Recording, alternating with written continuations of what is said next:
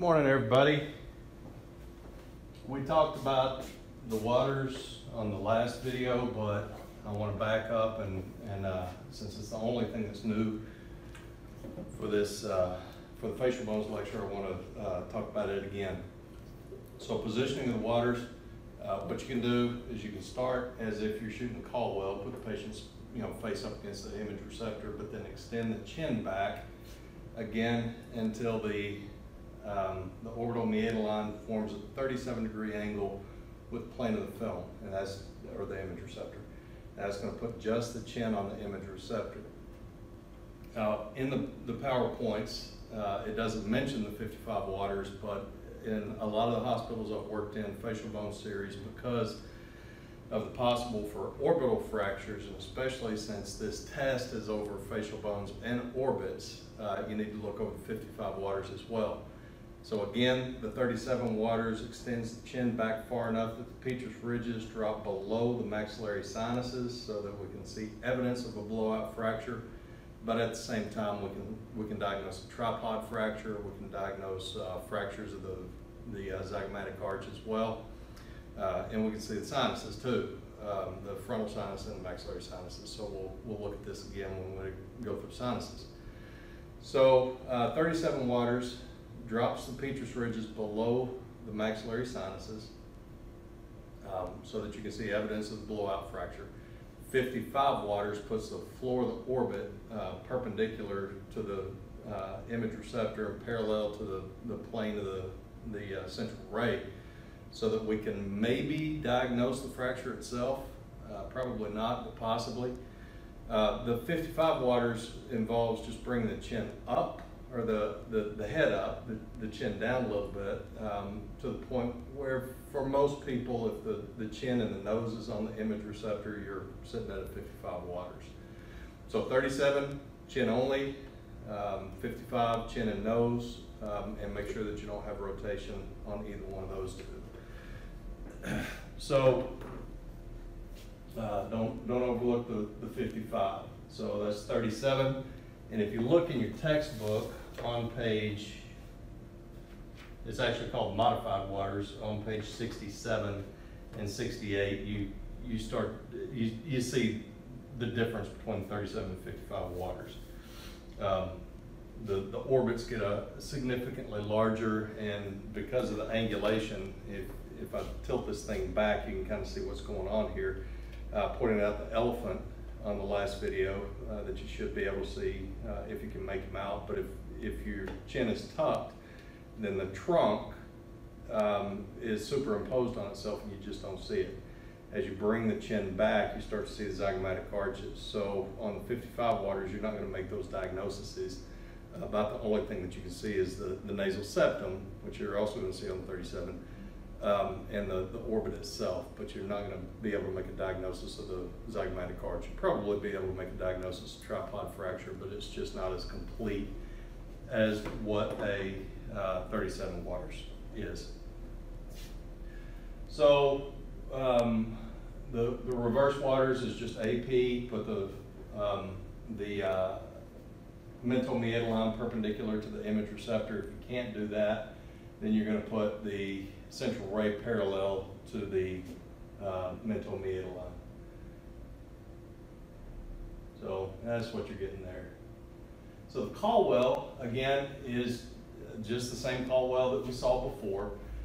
So uh, either with the patient prone or with the patient upright, doesn't really matter which way we go with it, but we're gonna put the patient's forehead and nose on the image receptor and we're gonna angle the central ray 15 degrees uh, just like the waters or the, the Caldwell that we saw before unless you're wanting to see more of the orbit, uh, superior orbital fissures, uh, the um, orbital rims, and now you're going to have a what some people will call an exaggerated Caldwell, and that would be a 30 degree angulation as, as opposed to the 15 degrees. Um, so uh, radiation field one and a half inches beyond central ray exits at the nasion. Um, and your evaluation is just like the evaluation that we saw before. You're going to look at rotation. Rotation, granted this is AP versus PA, but um, the, uh, the rotation is going to be the, the lateral side of the orbit compared to the lateral, lateral side of the skull. So for PA, uh, the side closest to the image receptor, you're gonna have more skull lateral to the orbit. On the elevated side, the, the orbit's gonna be right at the, uh, possibly even beyond the, the border of the skull. So, um, if, if you're shooting the patient upright, you know, uh, I recommend you put on gloves and put your, your hands, just like we talked about in skulls themselves, put your hands on either side of the patient, thumbs behind the ears, and adjust rotation that way. If the patient's uh, laying down on the table, get at the end of the table and look at the top of the skull. It's hard to, to detect rotation if you're standing off to the side of the patient, so make sure you get to the end of the, the table so that you can see the, the top of the patient's skull. If you're looking down on them like this, uh, you can have slight rotation and not really be aware of it. So Caldwell looks like that. Again, just like the, the Caldwell we saw before, the petrous ridges are in the lower third of the orbits. Um, frontal sinuses, again, we're going to look at a variation of Caldwell for frontal sinuses whenever we do sinuses. But uh, the orbit, petrous ridges in the lower third, make sure we don't have any kind of rotation going on, anything like that. So, um, again, some of the more common fractures of the, the uh, skull would be of the zygomatic arches, and that's what we're looking at right there. And there's a couple of different ways to visualize the zygomatic arches. Um, I can't really demonstrate the, the Towne's uh, with central angulation and all that in here, but uh, the, the more common way to shoot the zygomatic arches is to, to use a Schüller's, uh, the same SMV that we saw before, and I'm kind of going out of order for a purpose here. Uh, the problem is, like what you're seeing on, on this guy here, is that SMV uh, does not show the zygomatic arches. Um, and really this has more to do with the distance that we've got going on here, and I'll, I'll talk about that here in a minute. Uh, but uh, it's, it can be very difficult if, if a patient has a big head, like mine, um, it can be very difficult to see the, the zygomatic arches. So what we can do is uh, shoot Towne's in order to, to visualize them. So we got uh, SMV, we got a tangential, and we got a Towne's uh, that, that we'll shoot for zygomatic arches. So uh, the same things apply here as, as what applied in skull. You know, if, if you got a patient who, um, you know, they got a broken zygoma, a zygomatic arch, and you, you put them into an SMV uh, position with patient upright, um, they're just not going to be able to maintain that position. They're unstable. They're probably going to fall down, and now you're going to have shoot skull series two, probably a CT. You look at lawsuits, uh, just not a good thing. So if you're going to shoot SMVs uh, at the vertical bucky, make sure that you put them in a chair, not on a rolling stool, because a rolling stool is no better than standing the patient up. But uh, put them in a chair with a back so that if you know if they get kind of woozy, um, and even if they faint, they're not going to likely fall out of the chair. So chair with a back, definitely. Chair with arms, even better still, to make sure that they don't fall out. So your positioning is going to be identical uh, to what it was before. You're going to hyperextend the neck until the infraorbital meatal line, the IOML, is parallel to the image receptor. Um, if you're shooting on the table, you're going to have a difficult time getting the patient into that position. I mean, that's that's really cranking the neck back a, a, quite a bit in order to get the, the OML parallel to the table, uh, and so it will be parallel to the to the image receptor. So um, what you may have to do if if you don't put the patient, if you're not shooting at the, the vertical bucky, is you may have to build the patient up in order to, to get their the top of their head back that far even still, I mean, there's magnum, so the, the uh, C-spine will be at a very acute angle, um, and the patient still might not be able to do that even if you built them up. So if you can't get the OML parallel to the image receptor, you definitely need to get the central ray perpendicular to the, I just said OML, IOML. Uh, you definitely need to get the central ray perpendicular to the IOML, all right? So um, upright or uh, supine, out, doesn't really matter except for patient safety issues. Uh, get the chin back so that the IOML is parallel to the image receptor. And if you can't do that, get the central ray perpendicular to the IOML. So uh, the really the, the only difference uh, between the SMV for zygomatic arches and the SMV for uh, the skull or even the sinuses, we'll look at it again.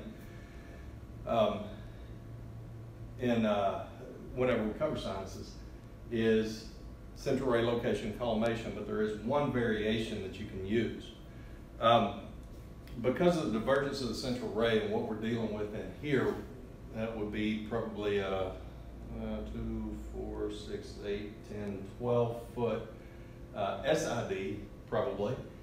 Uh, I can't really demonstrate this all that well. I'll try to back it up closer to the data projector and see if I can demonstrate it. But um, because of, of the divergence of the central ray, if you've got a patient who's got a big head, especially if they've got a small face and a big head, one thing that you can do is take the patient, or take the, the, uh, the uh, x-ray tube and move it closer to the patient.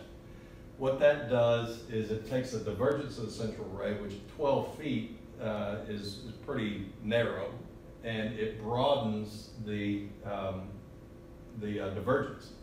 So that it, instead of shooting at 40 inches, if you back it down to maybe 30 inches, um, then your divergence becomes more significant. So that anything that's further away from the image receptor is going to be more magnified. You know, how that applies here is the zygomatic arches are further away from the image receptor than the vertex of the skull and the widest portion of the skull. So by reducing your OI or your SID, what you're doing is taking advantage of magnification and divergence of the central ray to project the zygomatic arches out and away from the skull itself. So if, uh, if you shoot a um, SMV for zygomatic arches and you just can't see them and you have no rotation, could be that you've got rotation because as, as you rotate, tilt the patient's head, what you're seeing there on one side is zygomatic arch, uh, but as I, I, tilt in one direction, zygomatic arch disappears and the other zygomatic arch appears. So um, if you don't have any kind of head tilt, then, then what you may be dealing with is a patient with a big head. Um, so reduce your OID or uh, SID, uh, take advantage of magnification, and you might be able to see them. So um, do you lose SRD? Well, yeah, but what you're looking for is a fracture, um, and uh, the fracture should be pretty obvious.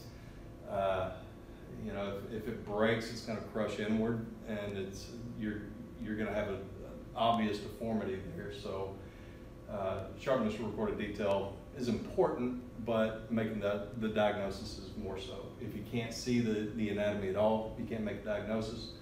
If you can see the anatomy, even if you lose a little bit of sharpness or recorded detail, then at least you can make a diagnosis. All right, so collimation, again, the, the, uh, the difference here between SMV for skull and SMV for zygomatic arches is central ray location collimation. All you need to see is the front half of the skull. So you don't need to, to include, you know, uh, the, occipital bone or anything further back than that. So collimation just need to see the, the arches. You can even do these tabletop, and it makes it a whole lot easier if the patient's laying on the table. Um, you can have the patient hold the uh, image receptor directly over the top of their head, uh, angle it until it's parallel to the zygomatic arches. You don't really need to build the patient up all that much. Uh, just have them crank the, the, chin back, put the, the, um, the uh, image receptor parallel to the IOML, central ray perpendicular to the IOML, and you should tabletop. So the central ray enters uh, mid-sagittal plane of the throat, one inches posterior to the outer canthus. So you gotta, you know, use a little bit of, of uh, uh, you know, you gotta, you gotta look a little bit. It's kind of a strange orientation, but uh, outer canthus will be the outer portion of the eye. So central ray will be right down here. So posterior portion, just anterior maybe of the uh, EAM, might be a little bit easier for you to focus on than uh, trying to figure out the outer canthus and, and draw a parallel there.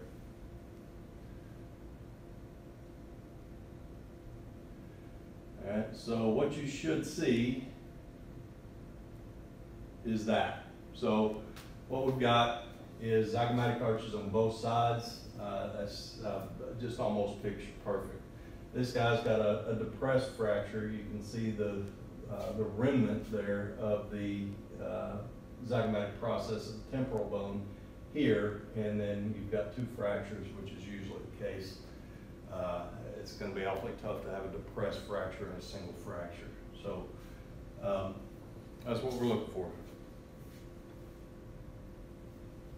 So uh, if you if you've again got a patient that you you tried the reduction in SID didn't work, um, you tried the the SMV regular didn't work, still can't see it, then what you can do is a tangential. Terminology again, tangential just means skimming the surface. So what we're going to do on a tangential collimation even gets more significant. We're going to take the patient and the, the the wording in the textbook, I'm going to stop the video and uh, pick this up on the next next video.